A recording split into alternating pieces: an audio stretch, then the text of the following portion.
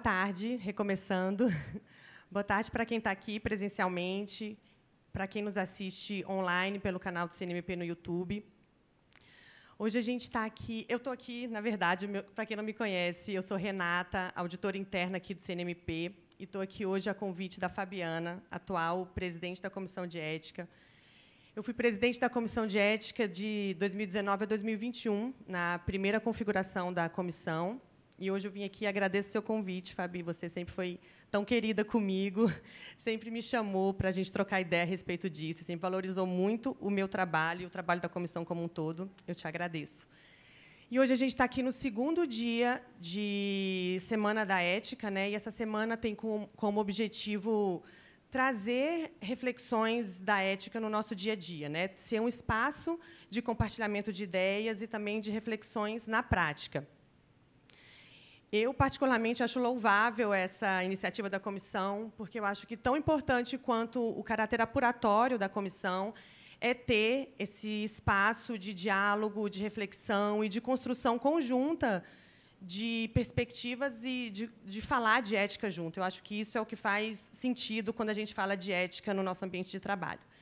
Então, a doutora Juliana vai falar algumas palavras né, em nome da SG e depois eu faço uma introdução da palestra. Boa tarde a todos. Meu nome é Juliana Félix, eu sou membro auxiliar na Secretaria-Geral.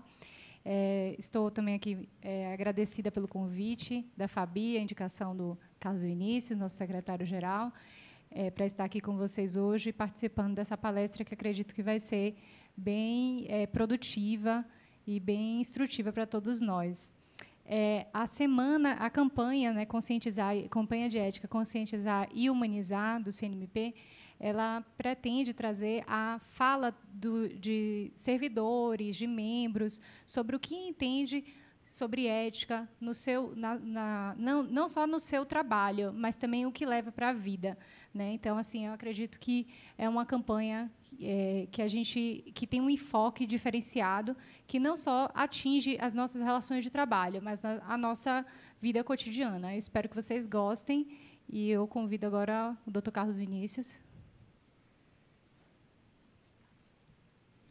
Boa tarde. É, hoje eu tenho um imenso prazer e uma satisfação pessoal de ter aqui conosco uma, não só uma colega do Ministério Público do Estado de Goiás, mas uma amiga que é a Melissa Sanchezita. Nós ficamos amigos quando ingressamos juntos no mesmo concurso do Ministério Público, depois nos tornamos vizinhos, é, e é uma das pessoas mais incríveis que eu conheço, como profissional e uma, uma pessoa muito incrível humanamente falando. Ela tem se dedicado a um olhar, uma lente humana sobre aquilo que nós fazemos no Ministério Público e de nossa vida. Hoje nós viemos para cá conversando o, o quanto é, o, o bom trabalho que nós desenvolvemos nas nossas instituições tem muito a ver com a satisfação pessoal que temos ao fazer aquele trabalho. Então, ela, ela trata disso muito bem, ela é uma das melhores pessoas que eu conheço para tratar disso, e eu quis dar esse presente para vocês ao indicar para a Comissão de Ética o nome da Melissa para esse bate-papo aqui hoje. Então, espero que vocês aproveitem bastante. Hoje é um dia de muita satisfação pessoal por tê-la aqui conosco. E ontem o que nós tivemos com o Amir foi o show de abertura. O show principal é hoje com ela aqui. Ontem, inclusive, é, é, eu não sei quem fez uma pergunta, de tudo que, que o Amir falou, e foram coisas incríveis, porque ele é uma pessoa também incrível, né? Mas alguém perguntou no final para ele, Melissa, foi uma pergunta, é, qual era a competência que ele esperava de alguém para colocar essa pessoa na tripulação dele. Eu não me lembro quem fez essa pergunta. Quem? Ah, foi a Sabrina, isso mesmo. A Sabrina quis se candidatar a membro da tripulação do Amir e fez a pergunta. E, e por incrível que pareça, e, eu, e, a gente já esperava essa resposta, ele falou assim: olha, eu não espero nenhuma competência técnica. Assim, não adianta a pessoa fazer Harvard, Yale, não é isso. A pessoa tem que ter capacidade de, de, de, relacionar, de resolver problemas, de enxergar soluções. É isso que eu espero de um membro da minha tripulação. E é mais ou menos esse olhar que a Melissa traz. Então, sem mais, pode apresentá-la. Ótimo. Vou fazer uma breve contextualização aqui do tema. É, quando a Fabi me, me passou o, o tema da, da palestra da doutora, eu fiquei achei que seria teria muito a ver com uma durante quando eu era presidente da comissão de ética os textos do Mário Sérgio Cortella eram os que mais me influenciavam. Eu gostava de ler, gostava da objetividade, da praticidade, da aplicação dele no dia a dia. Em especial, teve um que me marcou, que aí eu trouxe alguns trechinhos para falar, porque eu acho que tem tudo a ver com o objetivo da semana e com a palestra da doutora. Esse, esse texto se chama A Nossa Casa. Aí, no, no começo, ele fala assim: é impossível pensar em ética se a gente não pensar em convivência. Afinal, o que é ética? A ética é o que marca a fronteira da nossa convivência, seja com as outras pessoas, seja com o mercado, seja com os indivíduos. Ética é aquela perspectiva para olharmos os nossos princípios e os nossos valores para existirmos juntos. E ele vai e, e, coloca a origem da palavra ética. Para quem não sabe, ética é do grego ethos, que significa morada do humano. Então, ética, ethos, é o lugar onde habitamos, é a nossa casa. Então, quando ele conclui dizendo que ética é o conjunto de princípios e valores da nossa conduta na vida junta, eu achei que isso seria muito pertinente de trazer para cá, porque a gente está construindo, falando da nossa convivência e da nossa vida junta no nosso trabalho. E a doutora Melissa vai falar, e boas relações no trabalho, dessa nossa convivência, elas são capazes de gerar, é, aumentar o engajamento dos trabalhadores, do, dos trabalhadores em geral, e já dando um spoiler da sua apresentação, ela também é um componente crucial da felicidade humana. Que felicidade? A tal felicidade que a gente busca a vida inteira. Então, sem mais spoilers, eu vou passar aqui o currículo da doutora e passar a, palestra, a palavra para ela. A doutora Melissa Sanches é graduada em Direito pela USP, promotora de Justiça em Goiás desde 2004, membro do Núcleo permanente de incentivo à autocomposição do MP, MP Goiás, pós-graduada em Direito Coletivo pela Escola Superior do Ministério Público, pós-graduada em Transformação de Conflitos e Estudos de Paz, com ênfase no equilíbrio emocional pelo Instituto Paz e Mente e atualmente facilitadora do referido curso, pós-graduada em Neurociência e Comportamento pela PUC Rio Grande do Sul, facilitadora de círculos de construção de paz pela Escola Superior da Magistratura do Estado do Rio Grande do Sul e mediadora do IPMEC, Instituto Paulista de Mediação e Cursos. E hoje ela está aqui para ministrar a palestra Impactos das Conexões Sociais no Trabalho sob a ótica da neurociência.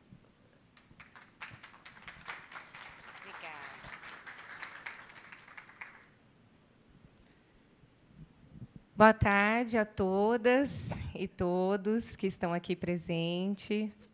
Boa tarde ao pessoal que está no, no, YouTube nos assistindo. Dizer primeiro agradecer à presidente da comissão, Fabi, pelo convite. Agradecer ao Carlos Vinícius, meu amigo, pela amizade, pelo afeto, pela carona. e pela apresentação generosa que fez.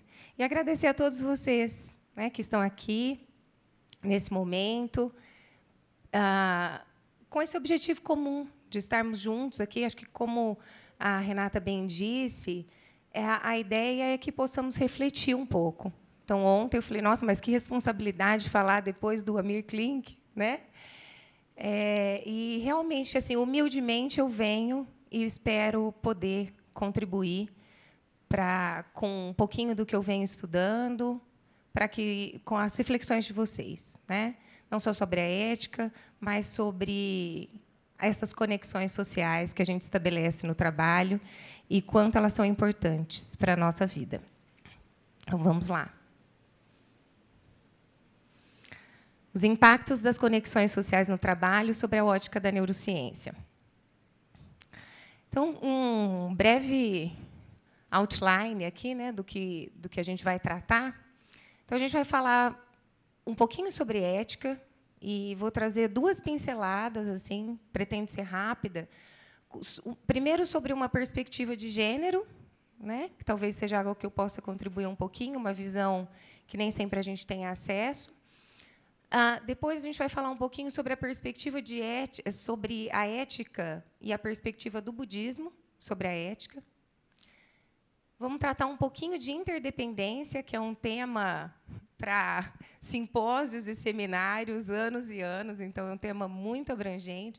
A gente vai tentar dar uma pincelada aqui, corajosamente. e depois nós vamos entrar mais nos aspectos da neurociência propriamente dito, né? Vamos tratar sobre o cérebro social, os aspectos evolutivos e os achados da neurociência, conexões sociais no trabalho e seus impactos. E eu coloquei aqui conclusão, mas é claro que vão ser apenas considerações finais, porque a gente está sempre em construção e a ideia, como eu disse inicialmente, é contribuir um pouco para a reflexão e, quem sabe, ação de cada um de vocês. Bom, uh, um olhar muito específico que eu vou trazer, né, essa autora portuguesa, a, a Teresa Maria Leal de Assunção, Toldi, ela fala de uma forma muito interessante que a ética feminina, e não a ética da mulher, mas a ética do feminino, é uma ética centrada nas relações. Vou falar um pouquinho sobre, sobre esses pontos e depois a gente vai tentar ligá-los, né? fazer alguma amarração. Então, ela é centrada nas relações humanas, ela é centrada no cuidado. E, então, ela é uma ética contextual, depende do contexto. A ética, numa perspectiva masculina, e isso ela, ela parte de pesquisas realizadas realmente com, com mulheres e homens e a forma de agir no mundo, é que a ética masculina é uma ética mais universal. Ela parte de, de situações mais abstratas. Então, ela traz regras universais. Ela olha menos para o contexto do que a ética feminina. Né? Então, independentemente do contexto. E é muito interessante, porque ela não diz que uma deve se sobrepor à outra, mas ela trata, nesse artigo dela, né, da ética do cuidar ao universalismo interativo, ela trata da importância de nós termos uma ética que seja simultaneamente universal e contextualizada. Então, e ela traz muito a importância da ética feminina para o espaço público. E quando eu li, eu tive acesso a esse artigo dela, eu me lembrei muito de uma palestra que nós tivemos do Cortella no Ministério Público, em que ele falava há muitos anos atrás que o Ministério Público é uma instituição feminina, porque ele falava que o Ministério Público é uma instituição do cuidado. E aí eu queria que vocês ficassem com essa com essa ideia, né, sobre uma breve análise sobre uma perspectiva de gênero a respeito da ética, né? Essa interseção. Opa. Aí tem um delezinho e eu me, me, fiquei ansiosa aqui.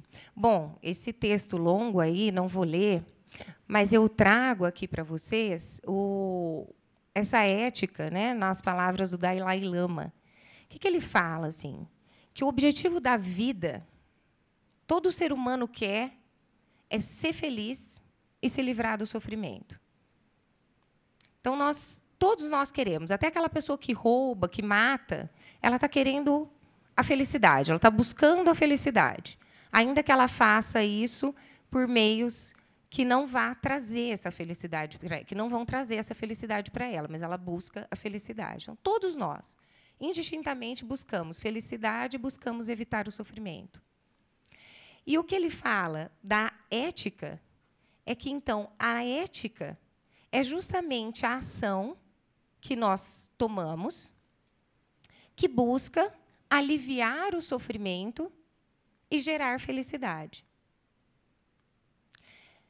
E, e, e, ele diz mais: que o que vai definir se uma ação é ou não é ética é a nossa motivação porque nós não controlamos o resultado da nossa ação.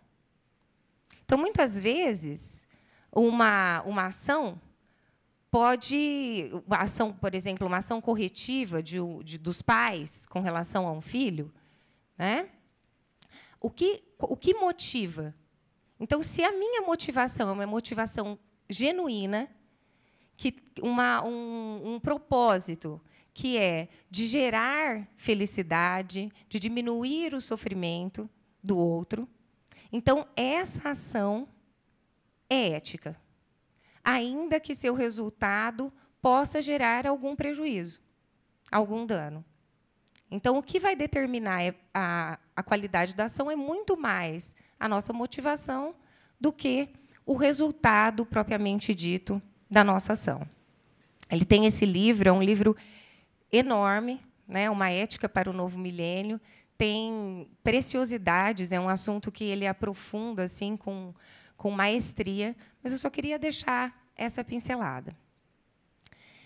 E o que é importante saber, assim, na visão do budismo, né, e que eu acho que tem muito a ver, logicamente, com isso que o Dalai Lama traz, é que a ética, se, a, se todos nós buscamos a felicidade e o que determina se, se, uma, se uma ação é ética ou não, é o fato de que nós estamos buscando gerar felicidade diminuir sofrimento, a ética tem tudo a ver, como a Renata trouxe né, na lição do Cortella, com a convivência.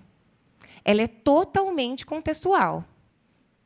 Então, não seria possível, dentro dessa abordagem, uma ação ética numa ilha isolada, completamente né, fora do, do espaço da convivência, da convivência humana. Então, a ética é algo que está num contexto relacional. Então, a gente volta né, e a pensar naquela ideia também da ética feminina né, como uma ética que olha para o cuidado com as relações, olha o caso concreto, as relações, e não para esse aspecto mais universalista, independentemente do contexto. E quando a gente fala de contexto, eu já entro nesse próximo e super desafiador tema, que é a interdependência. Né? Vou ler aqui para que vocês não, não fiquem centrados no slide, mas é, esse é um, um trecho de um, de um poema que um, um estudioso da mediação, que é o João Paul Lederach, ele, ele traz no livro dele, ele citando Margaret Whitley, que é nada no universo existe como entidade isolada e independente. Tudo assume a forma de relações, sejam partículas atômicas que compartilham energias ou ecossistema ou ecossistemas que compartilham alimento. Na teia da vida, nada que é vivo vive só. Talvez seja bem simples para muitos de nós entendermos isso. Né? Nós dependemos um dos outros. Né? Ninguém consegue viver sozinho. Então, nós estamos, como essa teia, interligados. E já que eu citei o Lederach, ele traz a imagem, ele trata dos processos de construção de paz, um mediador né, internacional, e ele traz essa ideia, ele fala que ele costuma, que ele costuma usar essa ideia de teia para ajudar as comunidades a superarem padrões de violência, padrões destrutivos. E ele fala o seguinte, que ele costuma ah, propor a reflexão de que as pessoas se imaginem numa teia que as ligue ao inimigo. Né? Que, que, que ligue essas pessoas até que elas cheguem ao inimigo.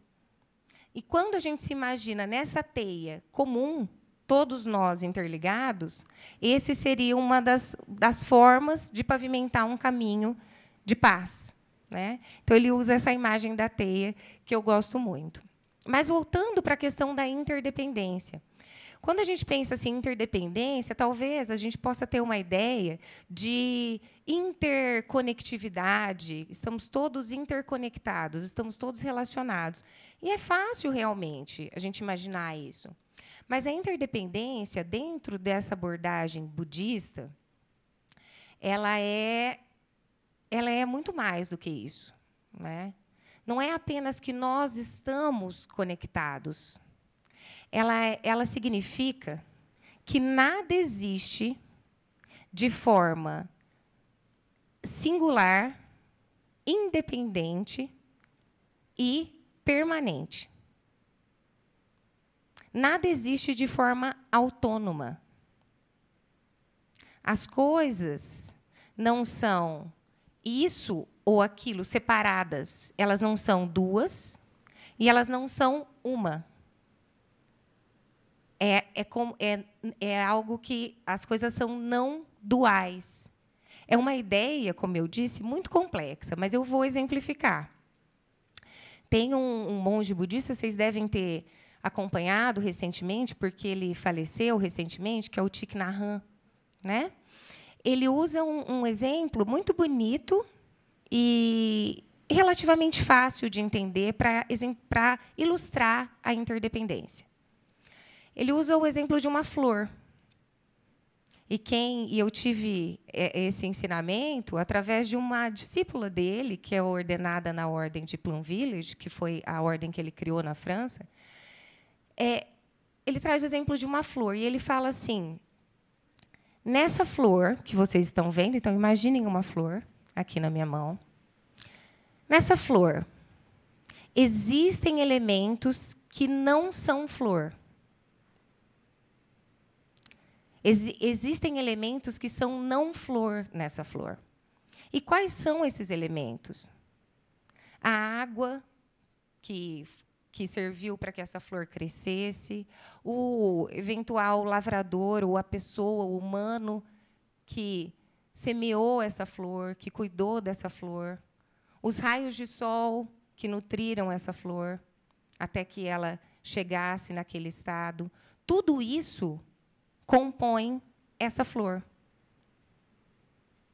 Ele usa o exemplo da nuvem também, né? para ilustrar essa interdependência. Então, quando a gente leva isso para nós, no nosso corpo físico, nós temos. A gente sabe que as nossas células, por exemplo, elas morrem diariamente e as nossas células são substituídas. Né? Tem um, um, um astro, astrônomo, não é, ele é, acho que é astrofísico, cientista Carl, Carl Sagan, Sagan. Ele fala que nós somos é uma uma frase muito bonita, né? Ele fala assim, uma ideia muito bonita. Nós somos poeira das estrelas. E de fato, isso foi comprovado né, pelos cientistas, de que os nossos os átomos que nos compõem já pertenceram a corpos celestiais. E a todo tempo, eu gosto muito, vamos dizer se eu consigo, dessa imagem, né, quando a gente está trocando ar, por exemplo, com o meio externo, nós estamos nos renovando. Então, no meu, na minha célula, existe um pouco do alimento que eu ingeri hoje. E nesse alimento existe um pouco de todas as pessoas de todo que passaram por aquele processo, que ah, fizeram com que aquele alimento chegasse até a minha mesa. Então, ah, dentro do budismo se trabalha muito essa ideia da, da identidade, né? da falta um eu fixo e imutável. Né? Não de uma pessoa, mas de um eu, de algo que não mude com o tempo. E quando a gente olha lá para a nossa infância, a gente olha uma foto da gente criança, talvez a gente tenha dificuldade de dizer o que, que tem daquela criança que ainda está hoje, que permanece fixo, imutável. E talvez, se a gente começar a investigar, nós vamos descobrir que a gente muda, muda muito. Né? E essa é um pouco da história da interdependência. As coisas não têm um significado em si. Elas dependem de um contexto para que elas ganhem significado. Então, quando a gente fala de ética, que é uma palavra tão plástica, né, assim como todas as palavras, depende do contexto em que aquela palavra é usada. Depende da tua história, do que, que você vai entender daquilo. Então, para que algo emerja, são necessárias diversas causas e circunstâncias. E as coisas se apoiam. Então, ao mesmo tempo que nós estamos aqui, né? Vocês estão ouvindo a minha palestra. Então, quando eu conversei com a Renata, a Renata me falou do texto do Cortella, eu já tive outras ideias. Então, assim, ela, ela me influenciou e agora já não é mais a mesma coisa. No momento seguinte, já não é mais a mesma coisa, já é diferente. Então, eu só queria que vocês ficassem com essa ideia né, de uma ética que existe é, nesse, essa abordagem né, de uma ética que é relacional, que existe dentro de um contexto, que depende do, do outro também. A gente vai do meu, da minha relação com o outro. A gente vai aprofundar um pouquinho mais nisso mais adiante. Bom, vamos passar para uma parte mais científica, né? Embora a gente vai ver que existe uma conexão grande entre essa primeira, essa parte introdutória e essa parte mais da, da neurociência mesmo. Mas ah, o fato é que, muito recentemente, com os, a, o avanço da tecnologia, sobretudo com a ressonância magnética neurofuncional, com equipamentos que, que fazem, às vezes, da ressonância magnética, mas que são portáteis, que chamam FNIRS. Desenvolveu-se um campo muito próprio dentro da neurociências, que é a neurociência cognitiva social. Né? E diversos estudos vêm sendo realizados, centenas, milhares de estudos ah, em, em, torno do ah, em, mundo afora, que vêm identificando a existência de um cérebro social. O que, que seria isso? Né? Seria um sistema cerebral, redes cerebrais, regiões cerebrais, que ah, são utilizadas para nos ajudar a navegar no mundo social. Então, eles vêm identificando que existe uma região que é diferente das outras regiões, dos outros sistemas neurais, que é ativada quando nós estamos nas nossas interações sociais ou em situações sociais. A gente vai ver um pouco desses estudos mais adiante. E aqui, para introduzir esse tema, eu trago Einstein, né? que ele diz que o homem deve sua força na luta pela sobrevivência ao fato de que ele é um animal social. E essa, esse, essa reflexão do, do Einstein, ela vem sendo confirmada pelos estudos da, da neurociência e do campo também, né, que, que, estuda a questão da evolução do cérebro humano, da, da, do ser humano, na verdade. Aqui vou me deter um pouquinho, né? Na quando a gente olha para a história né, do desenvolvimento, do, principalmente do cérebro humano, né, a gente vê que existem diversas teorias a respeito de quais são as reais, quais foram as reais vantagens competitivas do homem sapiens. Ah, existem teorias né, dominantes Existem diversas vantagens competitivas, e eu não vou trazer assim para dizer, olha, qual é a, a, maior vantagem competitiva. Né? Darwin apontou aqui que é o fato do homem ser um animal social. De fato, ah, inúmeros neurocientistas vêm apontando que essa questão da, da da, das nossas conexões sociais, o fato de nós atuarmos coletivamente, é algo que nos deu uma vantagem, uma enorme vantagem competitiva. Quando nós passamos para o bipedalismo, né, nos tornamos bípedes, essa certamente foi uma grande vantagem competitiva, que teve que contar com o estreitamento do quadril, né, e isso custou ao nosso cérebro que crescia. A gente teve um processo de encefalização, que é o cérebro crescer absurdamente num período muito curto de tempo. O nosso cérebro cresceu muito.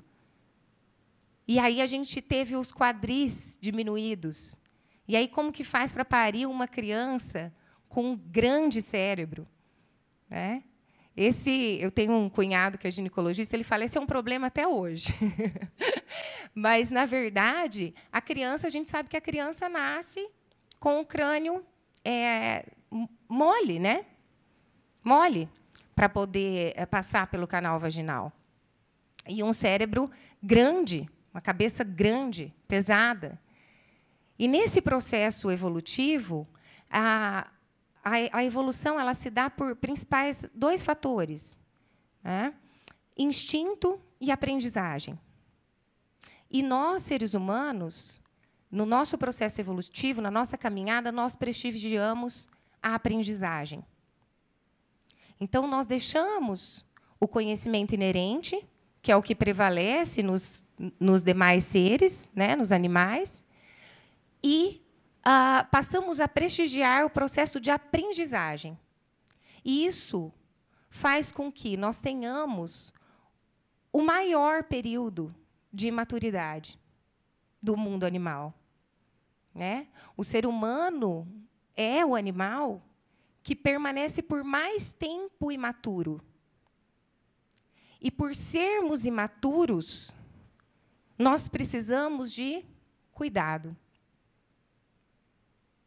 Então, isso está ligado à conexão social.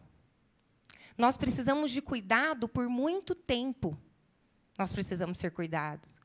E nós aprendemos a ser humanos a partir desse cuidado. É, nós não, é como se nós não nascêssemos seres humanos, nós nos tornamos humanos. Essa teoria ecológica do self, né? a gente aprende a ser com o outro.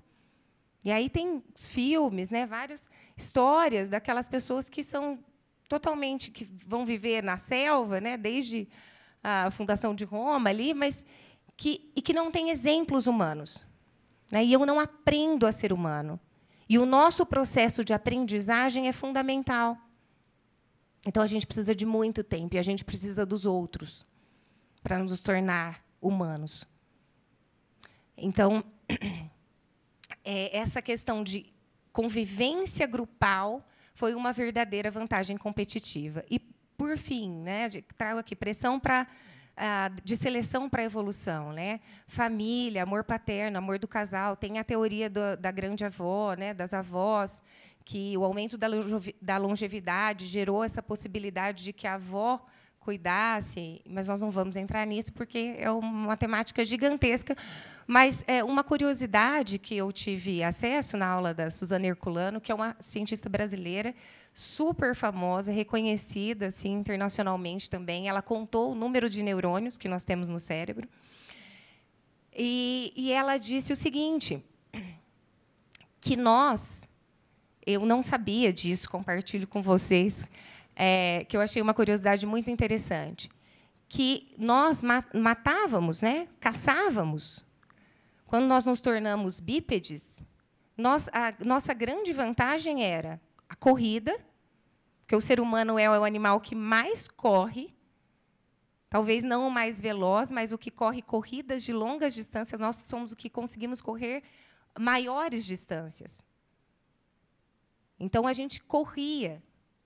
E a gente corria em bando para encurralar os mamutes lá, né? Então a gente corria em bandos, até que a gente cansava os animais e conseguia abatê-los. Ou a gente corria em bandos e encurralava esses animais em ah, precipícios e matava dessa forma, né, até a exaustão. Então, essa vantagem da corrida, do bipedalismo e o trabalho em grupo.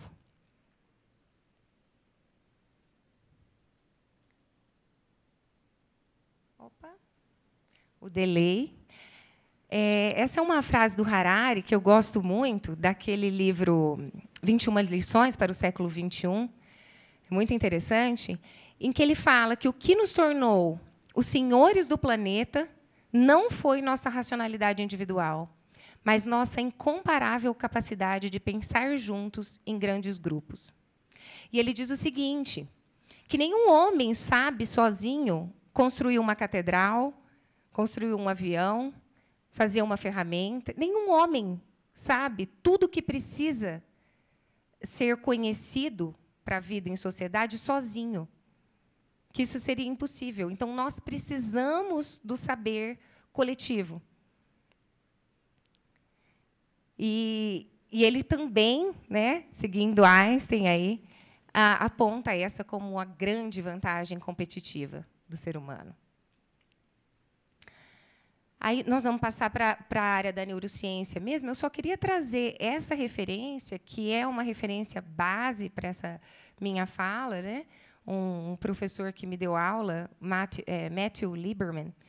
É, esse livro é um livro incrível, mas eu acho que ele não foi traduzido ainda para o português. Chama Social. Uh, porque os nossos cérebros foram feitos para se conectar. Né? E ele é um grande neurocientista, neurocientista desse campo da neurociência uh, social.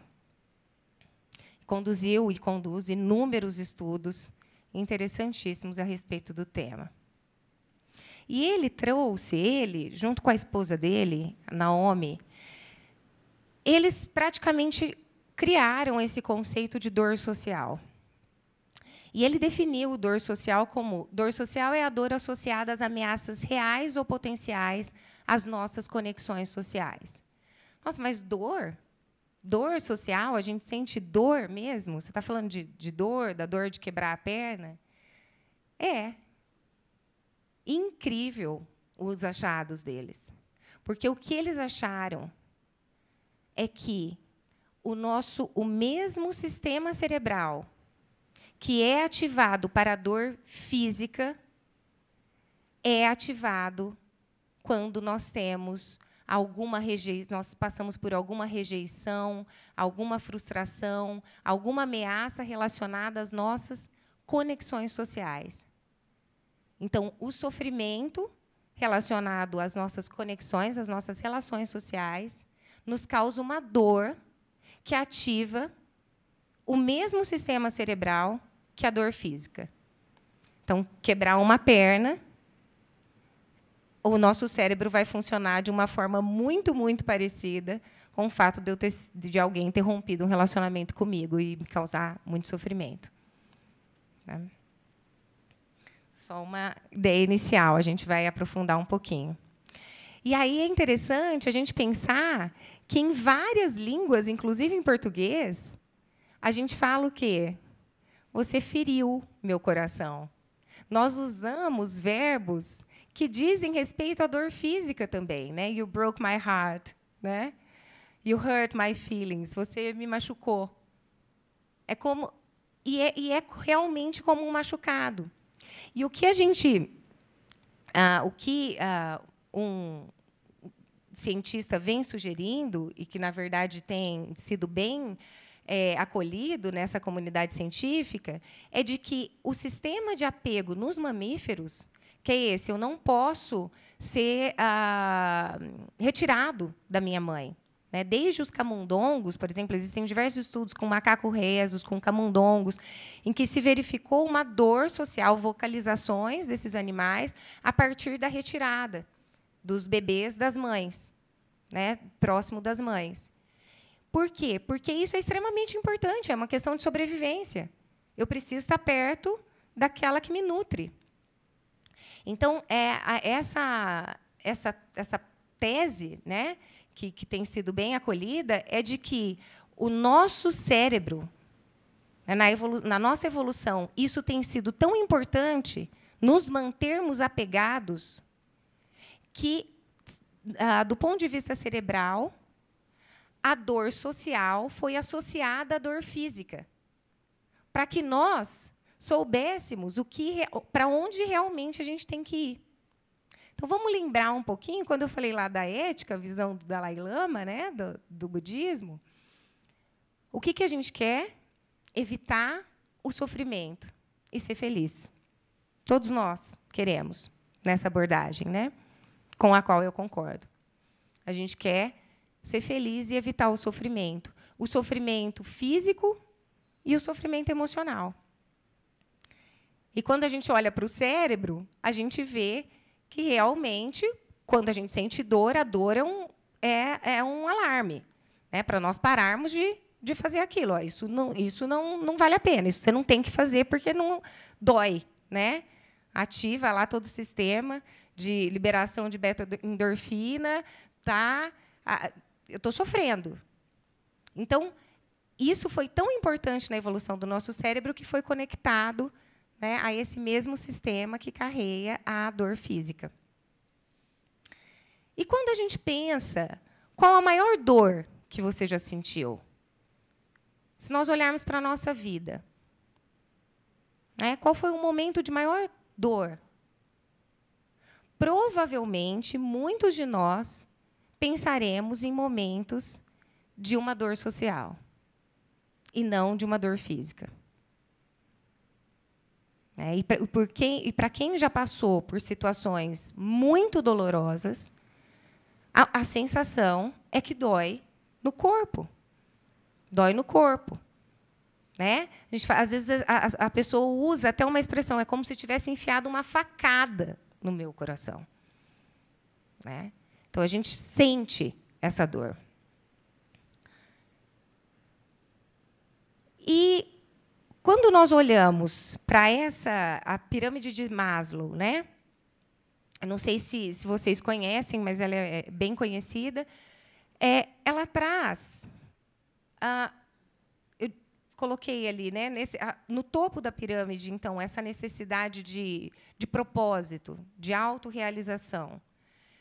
Nos, nas duas ah, linhas do meio, são necessidades, se vocês olharem, relacionadas às nossas relações sociais, né? às nossas conexões sociais, essas necessidades tidas aqui como psicológica. Então, é, respeito dos outros, respeito aos outros, amizade, família, intimidade.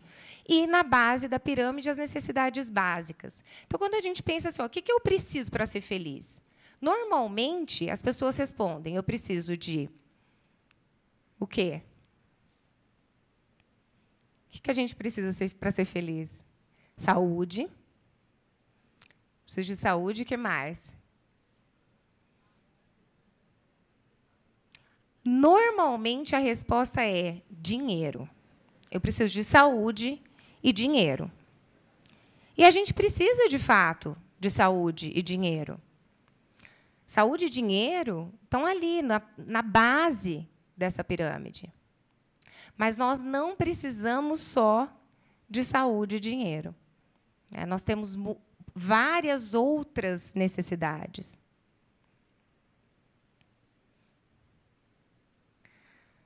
E aí eu trouxe, só para me lembrar, né, esses dois estudos que foram, que foram feitos ah, sobre a dor social e a dor física.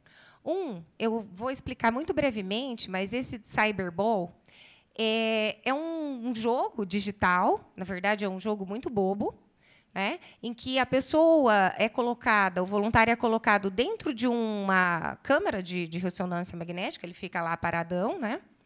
E ele é esse jogador 2. Uma mãozinha. E ele começa o jogo ali, ele joga a bola para um, aquele um devolve a bola para ele, aí ele joga a bola para o outro, o outro devolve a bola para ele. Mas, um determinado momento do jogo, o jogador 1 um e o jogador 3 começam a jogar só a bola um para o outro. E o jogador 2, que é o voluntário da pesquisa, não recebe mais a bola. Ele passa ali por uma experiência de rejeição. E foi feito esse estudo nessa câmera né, de, de ressonância magnética, e eles, ah, os voluntários é, deixaram e eles relataram como que eles tinham se sentido é muito interessante ver os vídeos, né? Como que eles se sentiram, me senti, ah, rejeitado, mas muito injusto, porque ninguém mais jogou para mim e tal. Sentiram com raiva, frustrados, outros meio deprimidos porque tinham sido rejeitados ali. E nas é, imagens da ressonância, o que se verificou foi que esse sistema, que envolve o córtex cingulado anterior e a ínsula anterior, foi ativado. E, coincidentemente, esse é o mesmo sistema ativado na dor física. Então, esse é só um dos estudos que foi realizado que comprovam essa questão da sobreposição né, da, mesma, da mesma região.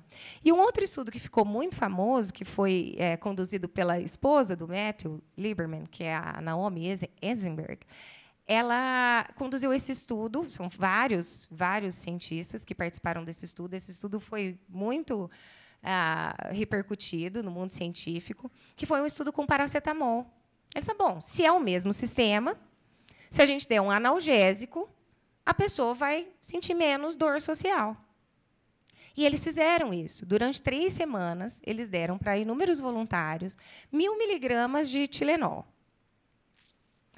E essas pessoas faziam os relatos um, diários de como elas tinham se sentido.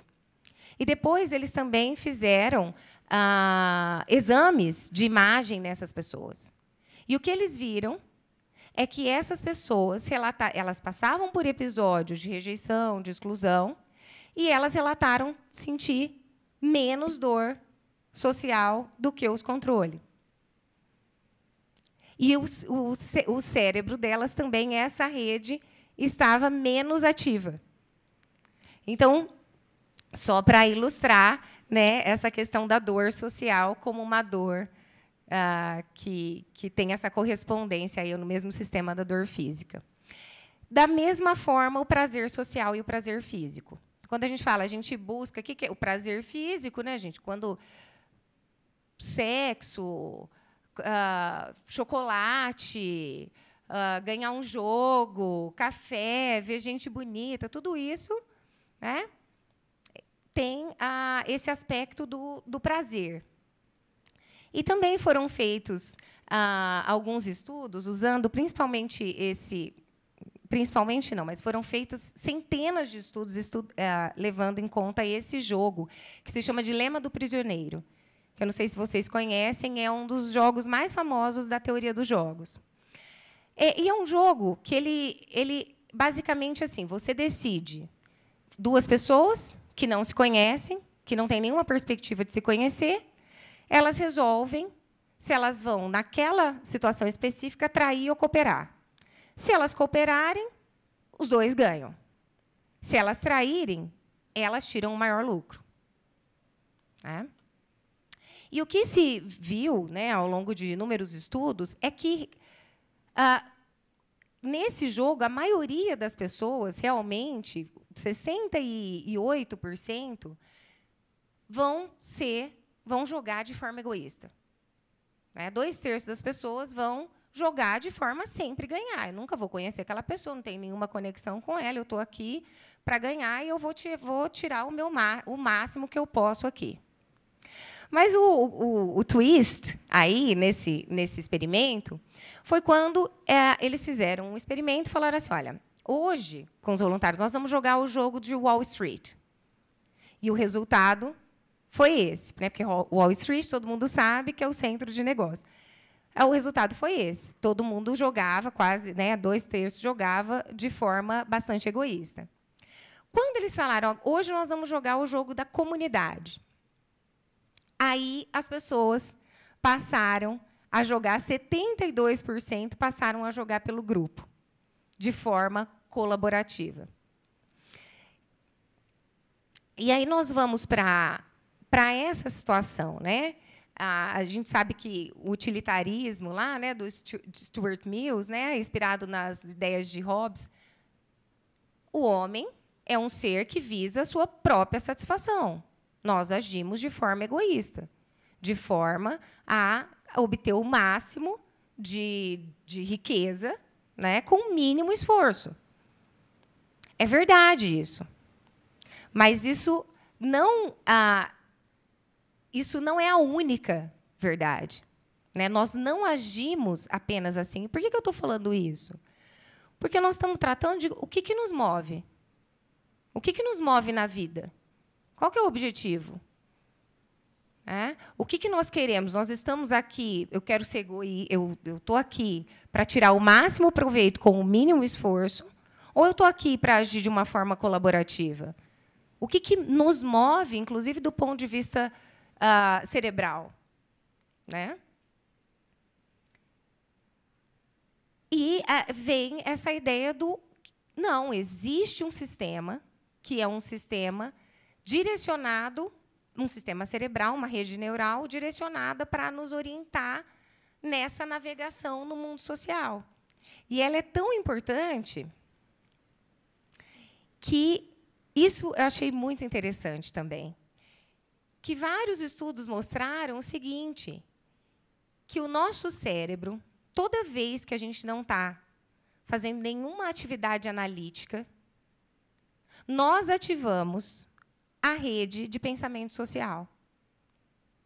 Então, a evolução considerou que saber navegar nas nossas relações sociais, no mundo social, é tão importante que toda vez que a gente não tiver outra coisa para fazer, são essas regiões que vão estar ativadas.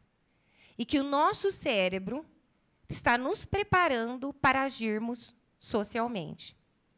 Então, teve um estudo que eles fizeram, que eles faziam assim, olha, ah, você vai fazer cálculos matemáticos, tarefa tipicamente analítica, depois você vai ter o mesmo período de descanso, um minuto de cálculo, um minuto de descanso. Um minuto de cálculo, um minuto de descanso. Um minuto de cálculo e monitoraram a atividade cerebral. E o que se verificou foi minuto de cálculo, a gente, é, as pessoas né, ativavam essa rede de pensamento, do pensamento analítico.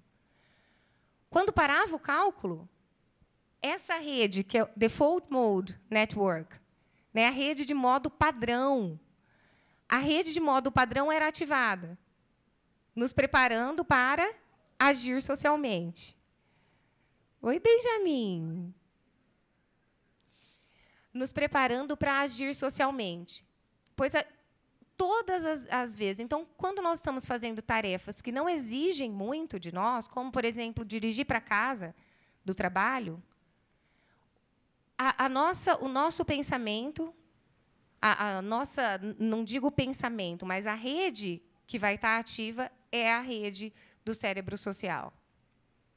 Então, nós, a tendência é que nós comecemos a pensar em pessoas no passado, no futuro, mas sempre relacionadas à nossa à atividade social. E tem outros estudos também muito interessantes relacionados à, à, performance. Depois que, por exemplo, feedbacks, depois de receberem feedbacks negativos, ou seja, após alguma dor social, a pessoa perde a capacidade ela de, de fazer, não, não completamente, mas ela cai a qualidade dela no trabalho analítico.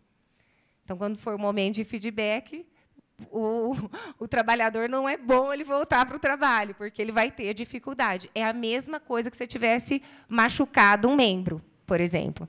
Então, aquela dor social vai ah, dificultar o teu pensamento analítico. Agora, é, é interessante também né, observar que a gente falou da, da pirâmide de Maslow, que nós investimos, principalmente as organizações, talvez não tanto as instituições públicas, porque a gente não tem tanta capacidade de dar recompensas financeiras assim livremente, mas o que as, as organizações fazem normalmente é recompensar como os funcionários? É sempre aumento salarial, né? Sempre aumento salarial, sempre o dinheiro é o que está em, em, jogo na história. Então, quando a gente pensa assim, ah, o que, que eu preciso para estimular essa, essa pessoa? Né? Ou o que, que eu preciso para ser estimulado? O que, que eu quero no meu trabalho? Quero ganhar mais. Isso sempre é uma questão. E a gente está tratando daquela base da pirâmide. Nós não estamos tratando de outras necessidades da, da pessoa que geram um engajamento, e a gente vai ver que até gera um engajamento maior do que a própria recompensa financeira. Tá? E, e aqui eu trouxe esse gráfico. Não sei se vocês já ouviram falar de um relatório que é produzido, salvo engano, há mais de uma década que é produzido o Relatório Mundial da Felicidade. Eles fazem um levantamento do, do nível de felicidade dos países. E esse relatório é, é muito interessante porque a, a felicidade, o nível de felicidade das pessoas, esse é dos Estados Unidos, do Japão é muito parecido. O nível de felicidade das pessoas não aumenta conforme aumenta o produto interno bruto do país. Então, o país fica mais risco. O que se viu foi o seguinte, que a partir que, claro, as pessoas muito pobres e que estão lá com deficiência na base da, das necessidades básicas, existe uma diferença substancial quando você aumenta o nível de riqueza, aumenta o nível de felicidade. Mas, a partir de um certo ponto, Você pode aumentar a riqueza que você não aumenta a felicidade. Então, o que fazer para aumentar a nossa felicidade? Ah, aqui um pouquinho um resumo do que a gente falou até agora, né? Ah, a gente falou do, da a questão do trabalho coletivo, da importância para a evolução. Essa diferença entre instinto e aprendizagem, o ser humano ah, tendo prestigiado no seu processo evolutivo a aprendizagem, a questão do período da, da imaturidade. E eu queria deixar claro só essa questão de que a dor social e o prazer social ocupam a mesmo, o mesmo sistema, a mesma região cerebral de dor física e prazer físico. E, ao contrário, o pensamento analítico e o pensamento social, a gente viu ali naquela questão do Default Mode Network, que são diferentes regiões cerebrais. Então, nós temos o chamado cérebro social. Tá? A gente tem um sistema que, que é ativado em todas essas nossas interações sociais com, com a, os outros. Né? E, e, nós somos orientados socialmente pra, pela busca do prazer né? e evitação da dor. E aí é que a gente casa um pouquinho com aquela ideia inicial de ética. Né? É interessante porque essa ideia que é uma ideia, na verdade, que vem dos gregos. Né? O Dalai Lama fala assim, olha, essa é uma ideia não é nem original, porque o conceito de eudaimonia é a, a ideia de que a ética é, ela está associada à nossa felicidade, à busca pela felicidade. Então, nós, como é que a gente busca a felicidade? É onde que está esse nosso, esse nosso prazer e essa evitação da dor? E aí, mais uma vez, o Dalai Lama, gosto muito dessa frase, ele fala: se você quer ser egoísta, você deveria fazê-lo de uma forma muito inteligente, ou mais inteligente. A maneira estúpida de ser egoísta é a forma como sempre trabalhamos, buscando a felicidade para nós mesmos, sozinhos, em um processo cada vez mais miserável. A maneira inteligente de ser egoísta, egoísta é trabalhar para o bem-estar dos outros. Então, ele diz que quando nós alimentamos, né, a gente age aí dentro daquela ideia de que nós agimos pelo outro, a gente pensa no, na questão da interdependência, estamos todos ah, correlacionados, nós agimos para a nossa própria felicidade. E é interessante que isso vem sendo ah, demonstrado né, pela, pela neurociência também. Tem um, um livro que também é muito legal, que chama Dar e Receber, não sei se vocês já, já leram. É, ele fala é, é justamente essa questão de que é melhor dar do que receber. Esse ditado, né, isso vem sendo comprovado também por diversos estudos, que o nosso cérebro ativa o sistema de recompensa, né, o sistema mesolímbico de dopamina, aquele jogo do, é, do dilema do prisioneiro, do, do dilema do prisioneiro, quando eles jogaram, que eu disse daquele twist, que eles jogaram de forma colaborativa o jogo da comunidade, o que eles fizeram o monitoramento e havia mais ativação no sistema de dopamina, eu havia me esquecido de mencionar isso, quando eles jogavam no jogo da comunidade de forma colaborativa do que quando eles jogavam de forma que eles só ganhavam, de forma egoísta. Então, na verdade, mostrando que há um, esse prazer social, que é o mesmo sistema do prazer físico, o nosso sistema de prazer de dopamina é muito mais ativado quando nós agimos em benefício da coletividade do que quando nós agimos em nosso próprio interesse. E aí também tem estudos com relação ao voluntariado, por exemplo, o poder do voluntariado. Né? Quanto ah, significaria, já fizeram um levantamento, quanto significaria em dinheiro o que nos traz de felicidade, porque o dinheiro nos traz. A gente tem uma ativação do sistema de dopamina, se eu tenho uma recompensa financeira. Mas quanto isso corresponderia em dinheiro o fato de você ser voluntário, por exemplo, em algum programa de voluntariado. É, então, servindo aos outros. E aí casa com essa ideia né, do, do Dalai Lama, de que nós ah, devemos buscar a nossa felicidade trabalhando para o bem-estar dos outros. É, esse é um dado muito interessante também, que essas são as principais causas de morte né, nos Estados Unidos. E, e, nós podemos ver que assim que as causas que estão ligadas a conexões sociais, elas vêm antes, elas, elas superam o tabagismo, a obesidade, as doenças cardiovasculares, como causas de morte causas de morte. O isolamento social, a ausência de, de, de relações sociais, de, a, doenças como a depressão, né, que a ONU vem apontando como uma, uma, uma doença que, que, é uma das principais causas né, de preocupação, ah, vem antes do próprio tabagismo. Então, mata mais estar isolado socialmente do que fumar 15 cigarros por dia. Só que Normalmente, esse é um dado dos Estados Unidos, se investe 490 milhões por ano para ah, campanhas contra o tabagismo. E nada se investe para fortalecer a conexão social entre as pessoas. Sendo que o tabagismo é, um, é uma, a dependência é uma doença crônica. É difícil, de difícil solução. Talvez fosse muito mais interessante investir ah, no fortalecimento das relações sociais do que nessas outras causas, e talvez o resultado fosse ainda mais interessante.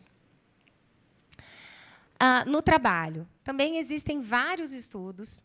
Né? Não sei se vocês conhecem a Virgin, né? tem linhas aéreas, aquela é, produtora de discos né? musical.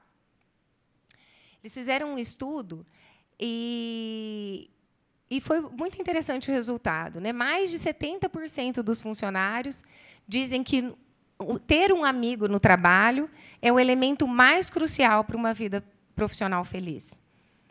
50%, 58% dos homens e 74% das mulheres disseram que recusariam um emprego mais bem remunerado se isso significasse não se dar bem com os colegas de trabalho. Ah, 35%, aquelas pessoas que falaram que eu tenho um melhor amigo no trabalho, se mostraram 35% a mais, ah, mais produtivas e tinham mais chances de receber um feedback é, positivo. Né? As pessoas que falaram, não, eu sinto uma conexão forte com a minha empresa, ah, são pessoas, 50% das pessoas que disseram que sentiam uma conexão forte com a empresa são pessoas que tinham é, um melhor amigo no trabalho. A Gallup também né, fez uma meta-análise e décadas de, de dados aí com mais de 100 mil equipes. Eles tinham uma pergunta, que era a pergunta número 10, era assim: começou como uma piada, que era assim: você tem um melhor amigo no trabalho? E eles não sabiam muito qual que era o propósito dessa pergunta. E o que eles verificaram é que as pessoas que, respondi, que responderam sim, eu tenho um melhor amigo no trabalho, eram muito mais produtivas. Né? Então, é essa questão da performance. É, mais engajados, produziam um trabalho de mais qualidade e tinham um, estado de, de bem-estar muito maior. É, o que se pensa hoje né, é que um dos maiores desafios de recursos humanos da atualidade, e isso também é dado de, de pesquisa, é justamente como engajar os trabalhadores, como engajar uma equipe. Né? Eu vou, vou, vou dar recompensa financeira, mas o que mais? Como eu engajo trabalhadores? E o que tem se visto é que uma das formas de gerar engajamento, ou uma forma que gera até mais engajamento do que a própria recompensa financeira, é você criar espaços, e aí a gente vai tratar de algumas ideias, criar espaços que fortaleçam conexões sociais. E aí a gente vem para um contexto, né, que nós estamos saindo, mas ainda é uma realidade, um contexto de pandemia. Essa foi uma pesquisa muito interessante que foi feita, em que os pesquisadores buscaram mensurar. Eu falei aquela questão do voluntariado. Tem uma pesquisa semelhante com o voluntariado. Quanto custa, né? O quanto de quanto de felicidade na nossa vida representa uma hora extra por semana com um amigo.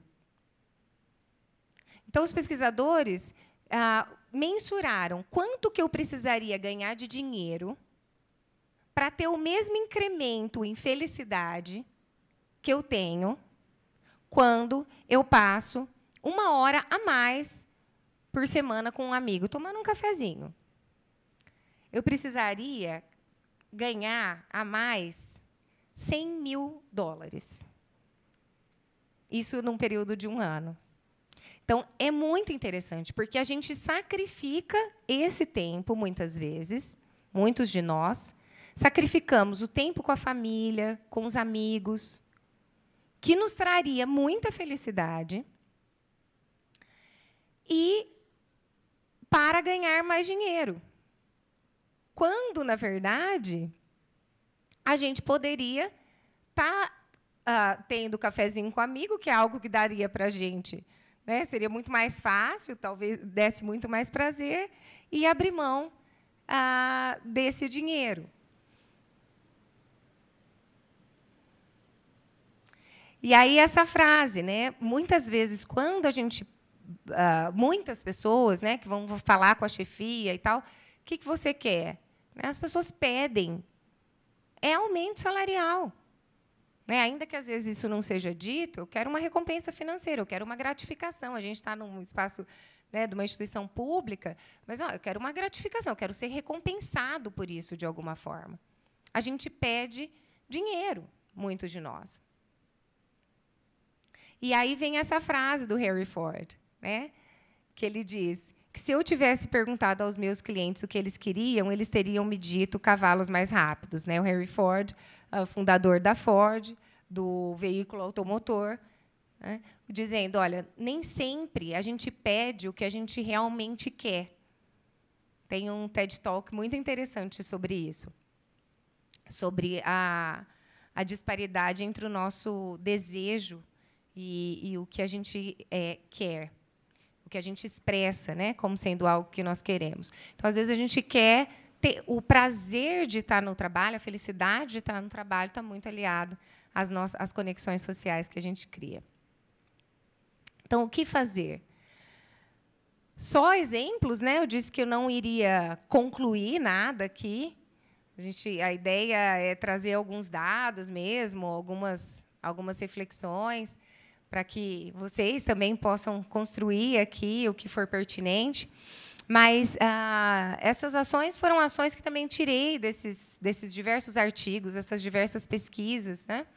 em que, por exemplo, se verificou que a produtividade aumentou de uma determinada empresa aumentou mais com o aumento da mesa de refeições do que com ah, o aumento salarial. Então, a questão de, olha, um espaço de, ah, de troca, é um espaço em que você pode alimentar ali amizades. Né? Então, proporcionar esses momentos de discussões informais, de relações informais, o momento do, do cafezinho, né? a copa, né? encontrar na copa, o, o a, em inglês se fala é little chat, aquela conversa boba, né, essa conversa boba. Às vezes nós temos o, um potencial melhor amigo que trabalha do nosso lado, e se não for oferecida nenhuma oportunidade para que a gente se conheça, eu nunca vou chegar a conhecê-lo.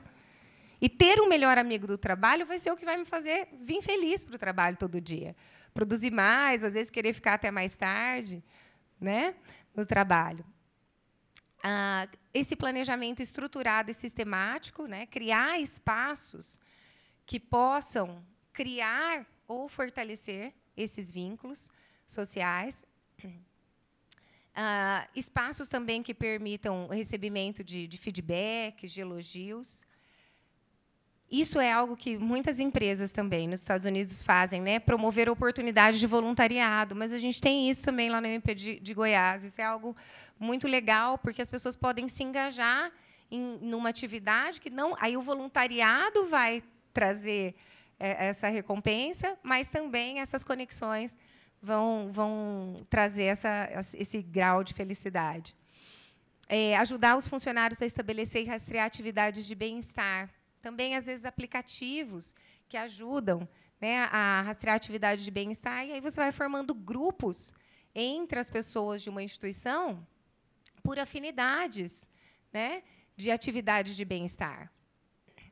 É, falando né, do desafio do home office, que foi até uma, uma provocação que a Renata me trouxe.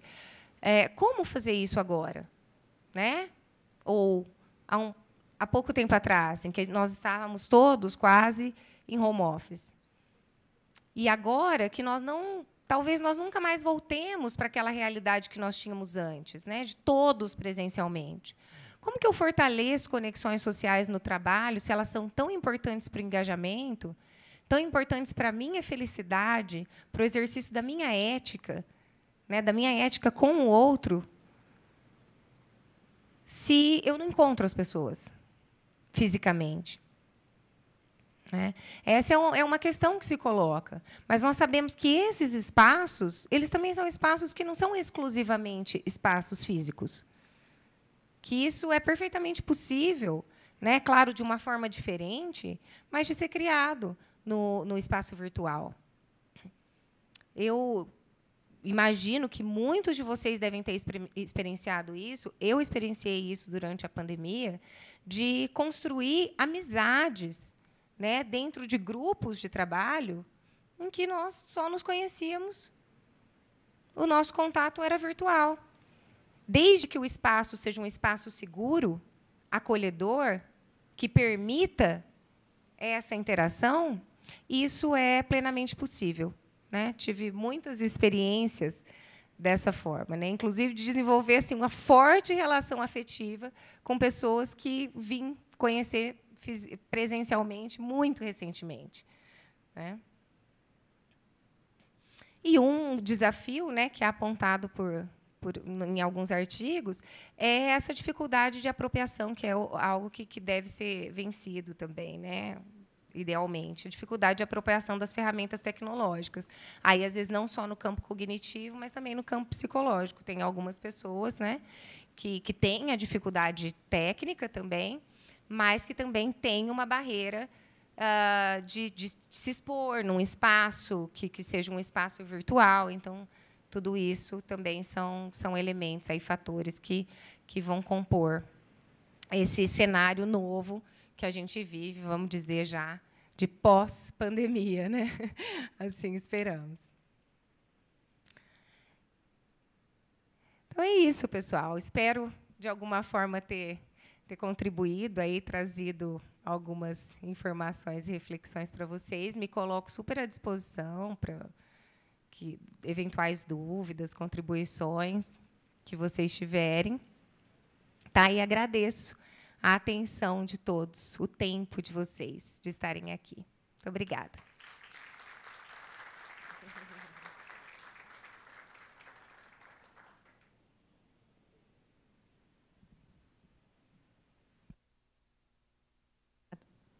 Obrigada, doutora.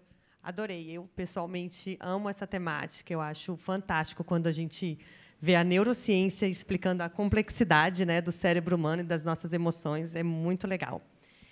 É, a gente está com interação no online, mas quem quiser também fazer perguntas aqui pode falar. A Fabi leva o microfone. Perguntaram, doutora, é, dor social é a dor que a gente sente junto?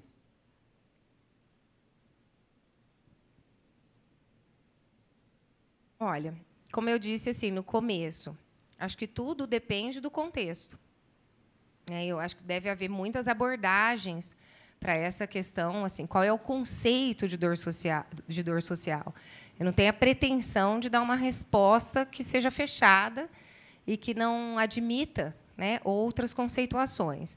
Dentro dessa abordagem, A dor social é essa dor experimentada individualmente a partir de uma experiência ah, que, que seja uma ameaça às nossas relações sociais. Mas aí é claro, se a gente então vamos abrir um pouquinho, se a gente for para a questão da interdependência, quer dizer, não há nada que seja sozinho também. Né? Eu sinto essa dor, eu sinto, mas ela está completamente relacionada com o que é, acontece no externo, né? que não existiria essa, essa diferenciação. Então, não existiria essa dualidade entre eu e o outro, mas também não quero entrar nessa complexidade. Acho que, dentro dessa abordagem do, do, do, Liber, do Lieberman, é, seria a dor social, seria uma dor experimentada pelo indivíduo. Tiveram algumas perguntas, mas que, durante a apresentação, a senhora já acabou abordando. Eu vou fazer uma aqui que é interessante. Eles perguntaram como estimular essa ética feminina do cuidado em todos os líderes da organização. Hum, essa é boa. Resposta de um milhão de dólares, né? Tem, na verdade, assim, há várias iniciativas, né? Eu acho que a questão da cota, né? Da cota de gênero que vem sendo pensada é bastante importante, né? A participação de mulheres e o reconhecimento. Eu acho que mais do que a participação de mulheres, acho que é a, o reconhecimento da não só da legitimidade, mas da importância dessa, dessa forma de atuar no mundo né, e de atuar dentro da nossa instituição. Então, aqui eu vou, vou dar um, um testemunho pessoal. Eu, quando entrei no Ministério Público, eu tinha muito a ideia de que eu tinha que me portar de determinada forma, que era uma forma esperada, e acredito que muito relacionada a uma expectativa de uma figura masculina, né, porque quando eu entro no meu gabinete, eu trabalho dentro do fórum, está lá escrito promotor de justiça, né, então não tem uma variação de gênero, principalmente no espaço do júri, por exemplo, que é um espaço muito masculino. Né?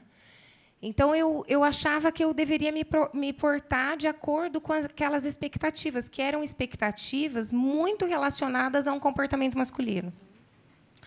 E assim eu fazia, e era totalmente antinatural. Não, não tinha correspondência com quem eu realmente sou. E não é a minha forma de atuar no mundo. E quando eu, com a maturidade, né, a gente falou aqui quando entrou, já estamos indo para quase 20 anos de Ministério Público, eu, eu fui também, no meu processo pessoal de amadurecimento, eu fui me descobrindo mesmo e, e, e dando espaço para que eu pudesse atuar nessa condição feminina num espaço muito masculino. E quando eu encontrei esse lugar de integridade, eu passei a atuar com muita fluidez, eu acho, muita tranquilidade. E trazer assim uma mulher num júri, por exemplo, que foi o espaço que eu, que eu falei, né? uma mulher num júri. Qual que é a ética feminina que está ali no júri? E eu percebi que quando a gente, eu trazer essa ética feminina para o júri, tam, primeiro que era um espaço que os homens também não sabem jogar, então me garantiu uma grande vantagem competitiva. E segundo, é que essa forma ela tem que ser legitimada. Tem que ter espaço, não é assim, promotor, uma ideia né, anacrônica, mas promotor tem que bater na mesa. Tá, eu sou promotora e eu não bato na mesa. Né? Eu não bato na mesa, eu atuo de outra forma. E essa forma como eu atuo é importante. E ela tem um valor muito grande, não só para mim, mas é relevante para o espaço público. Né? Esse, esse pesquisador, eles fizeram um estudo com, com aqueles NFIRs, é, é, que eles chamam, que, que são esses aparelhos que medem atividade cerebral, no Summit, que é um encontro de altos executivos que acontece em Los Angeles, caríssimo e tal. Fizeram esse estudo. E o que eles verificaram é que, rapidamente, a, os grupos em que havia mulheres, os resultados eram não só resultados melhores, mas que as pessoas se entendiam mais nos grupos. Então, reconhecer que não é que essa ética feminina ela tenha mais valor, não é isso, mas é que ela tem que ter o seu espaço, ela é importante. E ela é importante não só para as mulheres, ela é importante para todos, porque ela reverte num resultado que é um resultado é, coletivo, numa qualidade maior, numa riqueza maior para o grupo. Né, que é uma inteligência que o masculino, não o homem, né, porque acho que a gente é composto por esses, essas, duas forças aí, mas que o feminino tem. Alguma pergunta de quem está aqui?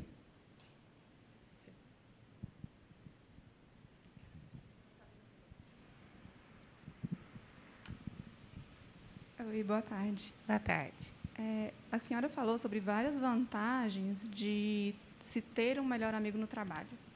E aí eu não entendi o que é essa definição de melhor amigo no trabalho. Assim, se o meu melhor amigo da vida está no trabalho, ou se dentre os meus colegas de trabalho eu consigo apontar um como sendo meu melhor amigo.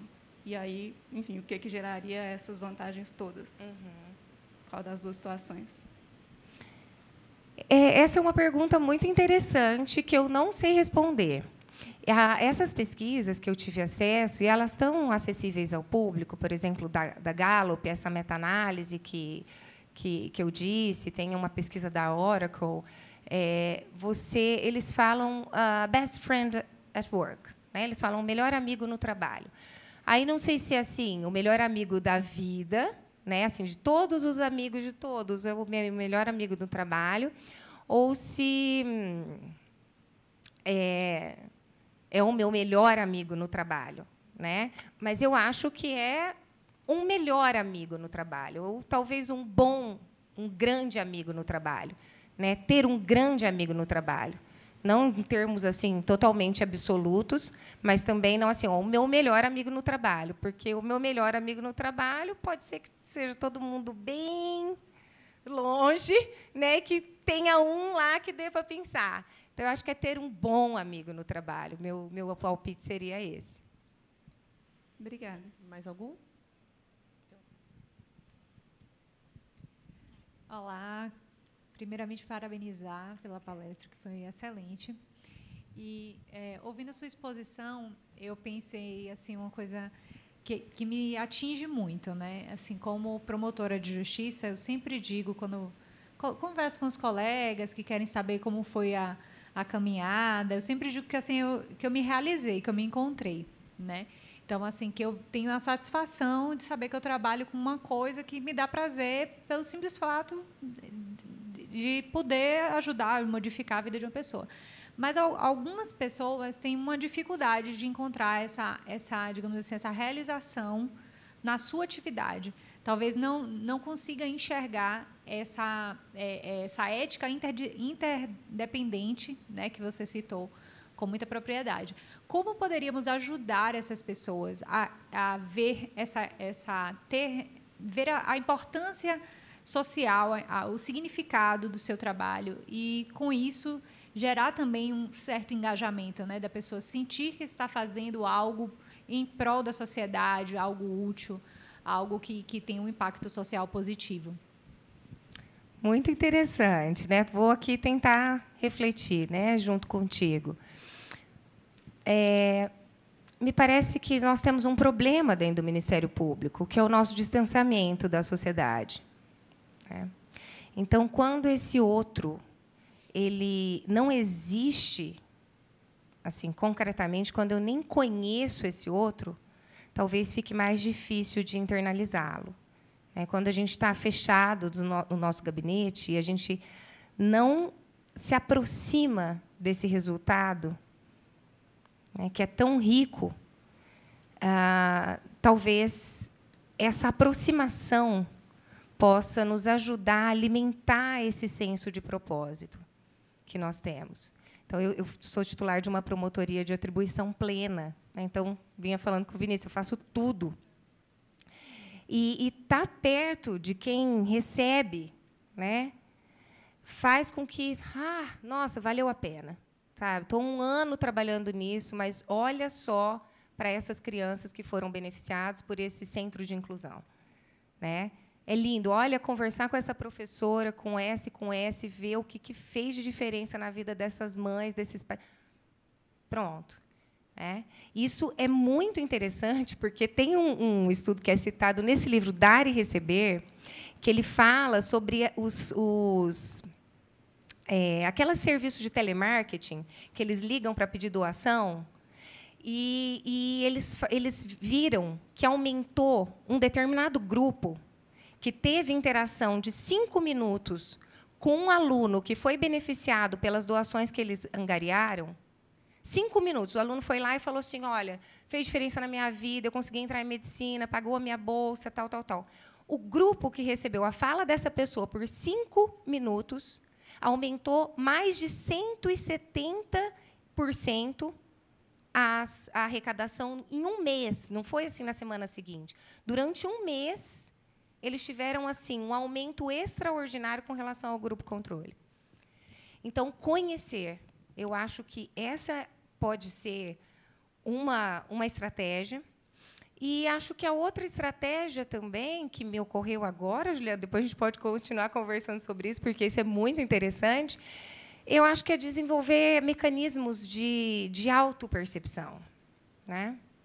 É nós realmente trabalharmos assim. O que, o que me motiva? Por que, que eu estou fazendo isso que eu estou fazendo? Mas por que, que eu vim aqui no CNMP fazer essa palestra? É, a minha motivação é uma motivação que realmente faz sentido, que né, que está alinhada ao meu propósito de vida?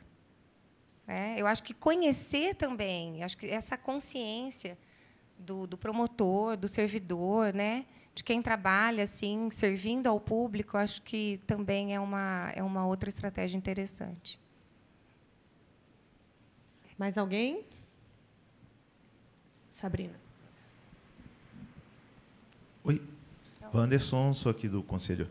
É, a pergunta tem um contexto. Você trouxe que esse aspecto dual, em que, de um lado, eu tenho, eu sou responsável, e, ao mesmo tempo, eu tenho um contexto que me que está ao meu redor. E que essa composição toda, como um ser social, ela se materializa, entre aspas, em relações. E quando a gente tem uma, um desenho para relações, como é a nossa sociedade? A gente tem um desenho como lidar com pais, como lidar com filhos, como lidar com colegas de trabalho. E essa busca pela satisfação, essa busca pelo prazer e a fuga da dor, é, em, quando eu encontro no trabalho, não uma dor, mas um amigo, talvez, essa relação não esteja mais sendo feita com o trabalho propriamente dito. O contexto do trabalho tem ali algo que me chama para um momento do cafezinho, talvez, e ameniza talvez essa fuga da dor.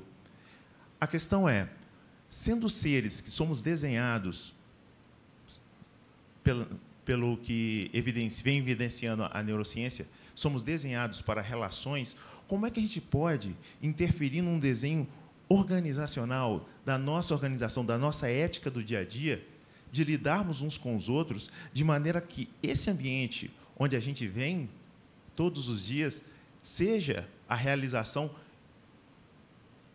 de um espaço, vou te dizer assim, realmente, onde tudo isso que você está intencionado a trazer, como você está trazendo aí da sua do seu propósito de vida, de estar aqui no CNMP trazendo essa conversa com a gente, de que esse espaço do trabalho seja um espaço da expressão desse dessas vontades, dessas intenções. Como em relação em relações dentro do trabalho, refazendo o desenho atual, porque a minha percepção não é de que esse espaço seja o espaço dessa relação, realização plena. Como é que a gente pode trazer isso é uma provocação. Uhum. É, quando você começou a falar, você começou a falar da, do indivíduo e do todo. Né? E quando você é, fecha o teu questionamento, você traz essa questão: o que, que nós podemos fazer? Né? O que, que eu posso fazer, enquanto indivíduo, para alterar a realidade de uma organização? É, acho que essa é uma grande pergunta, porque não é só uma pergunta para para cá, para o CNMP? Né? Essa é uma pergunta: o que, que eu posso fazer com relação à guerra da Ucrânia? Né? Então, assim, o que eu posso fazer de um contexto que, às vezes, é muito maior? E é, e é muito interessante, assim, vou, vou, não vou responder a sua pergunta, mas é, esse, foi um grande fator de frustração que eu sempre tive do Ministério Público.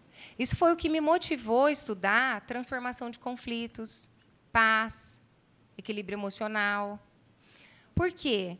Porque eu vi assim, os problemas são tão gigantes que nós lidamos, são problemas estruturais, de políticas públicas, coisas que assim, eu vou propor uma ação, eu vou ficar não resolve. É um negócio assim muito difícil de você transformar a realidade. Quando eu entrei, né, no direito e depois no Ministério Público, eu falei, eu vou transformar o mundo. O Ministério Público é o agente de transformação social.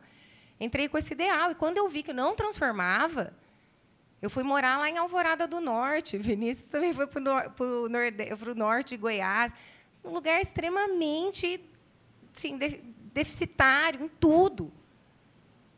Como que eu vou mudar, transformar essa realidade? Eu vi que eu fiquei lá, fiz tudo, me matei.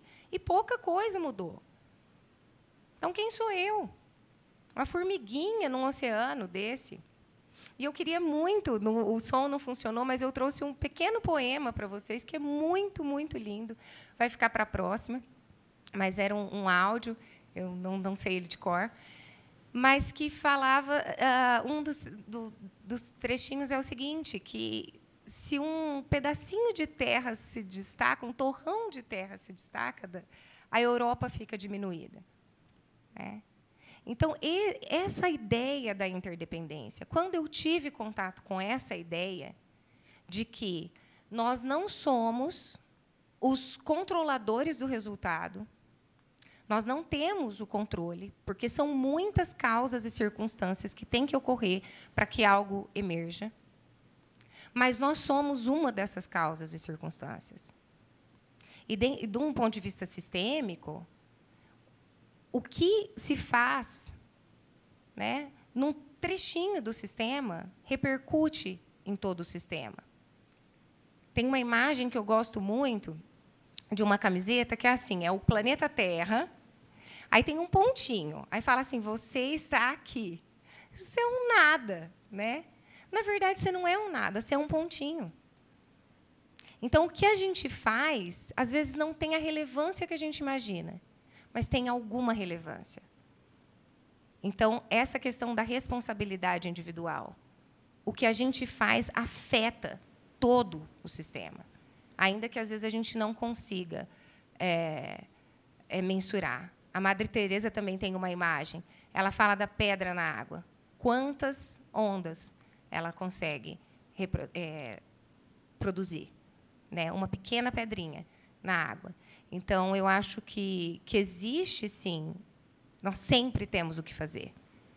E o que a gente faz, às vezes, não traz aquele resultado que a gente tinha imaginado naquele momento, mas altera alguma coisa. Né? As coisas são impermanentes, estão sempre mudando. E o que eu faço, para o bem ou para o mal, né? se é que a gente pode dividir as coisas dessa forma, não queria ser dualista, mas é, importa. Importa. Não sei se eu ajudei aí. Vamos lá, só antes de eu passar para o encerramento, doutor Carlos, é, lembrando vocês que amanhã vai continuar a semana, às 15 horas aqui no auditório, vai ter a palestra da professora de filosofia, mestranda do programa de pós-graduação da UNB na linha Ontologias Contemporâneas, a, a Bárbara Honorato, e o tema da palestra será Felicidade é um ato revolucionário. Todos convidados, agora doutor Carlos Vinícius, doutora Juliana, por favor, vai ter a entrega de um certificado e é isso. Obrigada pela presença, gente, de todos. Obrigada, doutora. Obrigada.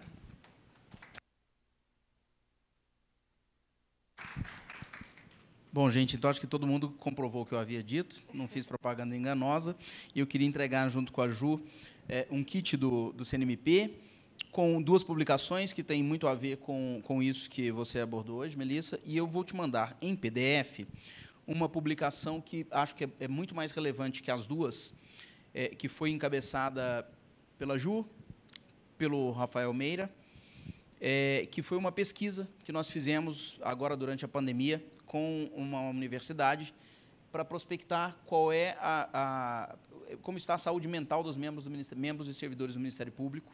E nós temos agora isso mapeado, foi uma pesquisa gigantesca feita no Brasil inteiro e que é um trabalho de peso realizado por vocês dois. Né? Eu mando isso em PDF para você, porque nós decidimos pela, pela não publicação. Eu agradeço imensamente mais uma vez. É, é uma honra para mim e acho que para todos tê-la aqui conosco. Beijo. Obrigada.